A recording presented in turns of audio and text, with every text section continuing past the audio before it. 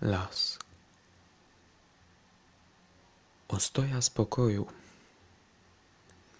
Łąki, pola. Miejsca życia dla wielu stworzeń. Ale czy na długo? Wszystko może się zmienić, jeżeli nie zareagujemy teraz. My jako ludzie będziemy za to ponosić winę. Jeżeli nie zadbamy o czyste środowisko, wykończymy przyrodę i samych siebie. Nie chciałbyś przecież, by chodzenie w takiej masce było konieczne.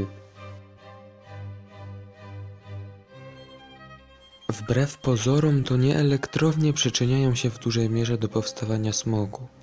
To, co wydobywa się z ich kominów, jest już oczyszczone przez filtry. Wiele szkodliwych substancji wydostaje się wraz ze spalinami samochodowymi. Tlenek węgla w połączeniu z hemoglobiną zawartą we krwi może powodować niedotlenienie organizmu.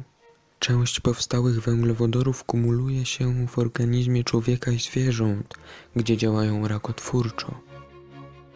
Najwięcej śmiercionośnych substancji wytwarzają domowe piece. Ludzie palą śmieci nie wiedząc, że grozi za to kara grzywny nawet do 5 tysięcy złotych. Na przykład spalając 1 kg pianki poliuretanowej powstaje 50 litrów cyjanowodoru, który tworzy z wodą truciznę, kwas pruski.